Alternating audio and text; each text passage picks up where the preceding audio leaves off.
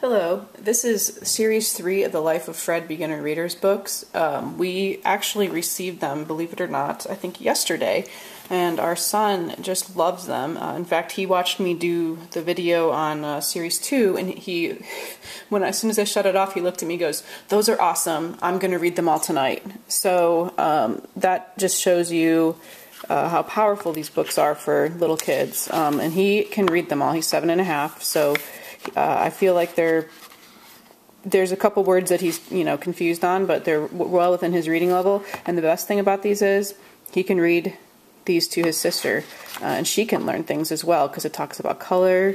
Um, when she's a preschooler or a toddler, like these are great read alouds to your kids. Um, we continue to learn women as well as men can be electricians. We count to five. Electricity, I'm reading this over here. Electricity doesn't just magically come from the outlets. Children shouldn't play with electricity, and Bach didn't own a cell phone. So there's humor, there's safety, so you don't want to be doing that. Um,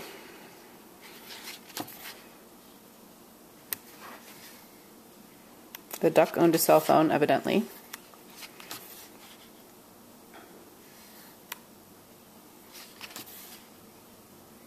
So, days of the week review.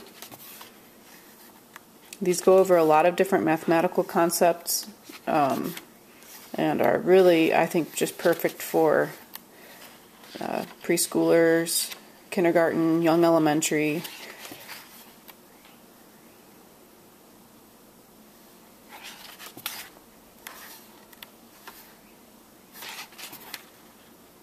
So there we go. Electricity. And there's the bill for the electricity, so we get some more addition in here. So I've, as I've said in the other two videos, these each have a color in the back of them. Some of them are strange, like burnt umber. Um, some of them are just your standard blue, you know, regular colors, and this one's sky blue. Um, these all have different teaching elements in them. That's what uh, really has drawn me to the Life of Fred math series is that there are different uh, things that they're learning about, not just math. So. Um, and they are they are cheap considering how many you get in a set and uh, the information in each one of them. And like I said, you can use them as like a picture book. It's interesting to me how I mean, there's really beautiful picture books out there that are awesome, but um, simple picture books can be just as powerful depending on how they're done. So here's some time. So we learned a dime is 10 cents, and once again, he's got things right over here to show you what uh, your trying to convey in the, these books. So besides electricity, kitchen needs water. Right is this way. We show north, east, south, and west on a U.S. map. And tiny words in the bottom of the page are just for you. So Kingie is hungry often. Apparently they had a TV as well. So, and there's some recipes in here as well, just very, very simple recipes. Baked potato, things like that. Or french fries, rather, and one of the other ones.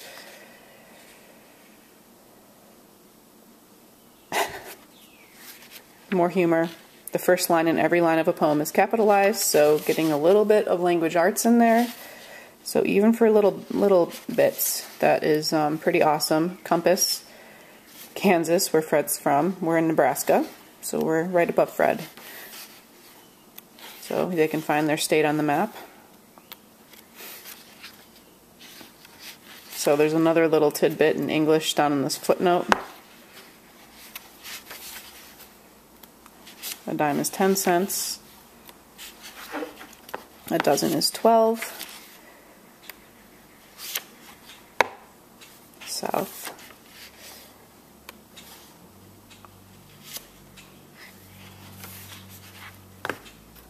Zero drops of water, concept of zero. Now Fred's got to get some plumbing put in, I think. Maroon is the color on the back of that book. Evening. Fred gets a lot done in a day, doesn't he? So, this teaches some manners. Learning to say thank you, learning to work neatly, I always read the footnotes to the kids, but it says the comments in tiny type at the bottom of the page are for you. I don't know, I always share them.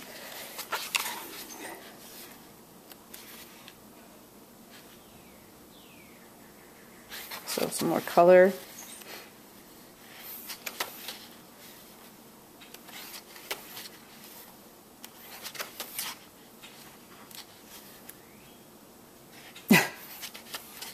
Trying to get the message across to the ducks. Some addition.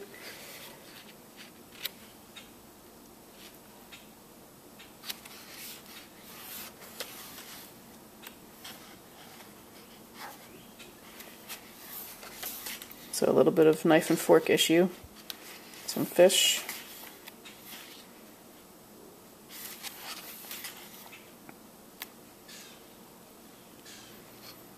Some more English. English is harder than math. I tend to agree with that statement.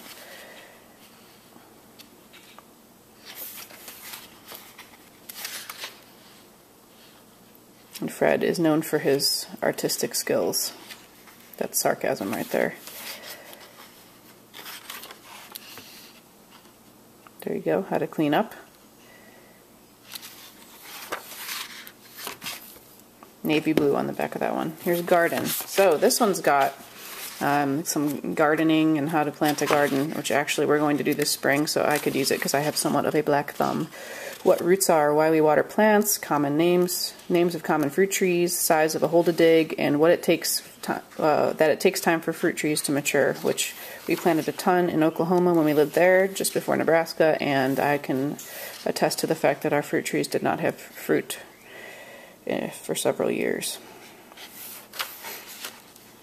So here we go. Here, let's plant a garden. No ducks.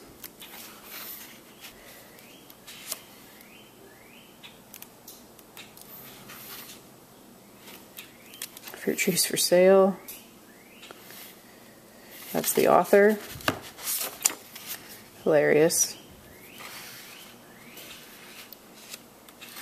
So different types of apples.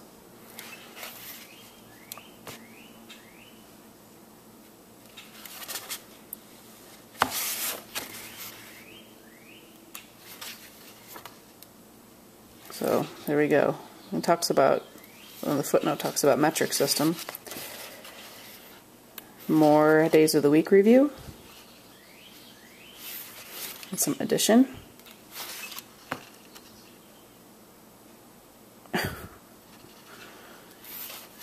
Roots. Talking about how to put a tree in. And Fred now lives in a forest. It will take two or three years before you get a good amount of fruit. Very true. So maize, some back.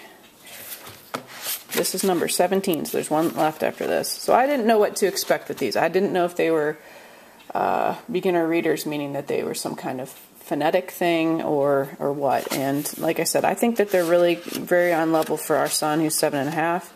Uh, I, there's there's enough in here that will throw him off a little bit and make him think. So, but they're really great just picture books for for little kids, particularly if, uh, well, not if you're doing math with them, but like our son got into these through the math, and uh, he's always loved these stories. And now that he can do the math, he finds them even more fun. And uh, so, like I said, he's going to read this all tonight, apparently. So, he tied a peach to the tree.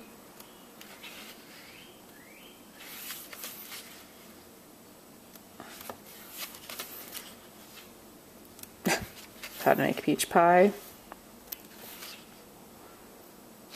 Don't use a sword to cut a peach. And for the sake of time, I'm trying to get through this.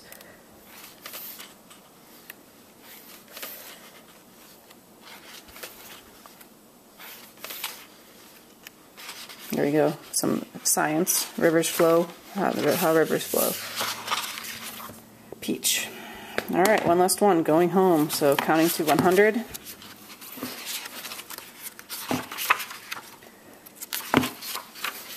Days of the week, how not to sell a house.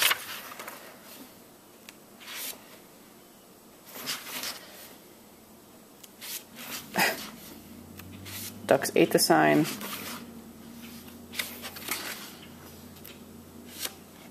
Going back to kittens. Another look at a map.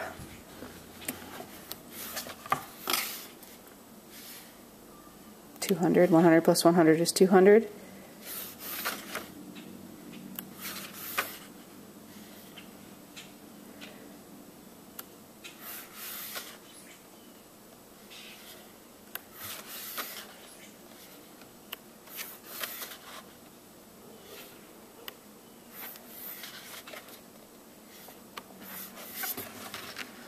There you go. So as you can see, they're they're really good for I would say second grade reading level, first grade. I don't know, maybe first grade these days, but um, excellent for all kids, homeschooled or not, and have other concepts in them aside from just reading. So. Uh, really, really good books, and I'm we bought these, and I'm really, I'm really happy with our purchase.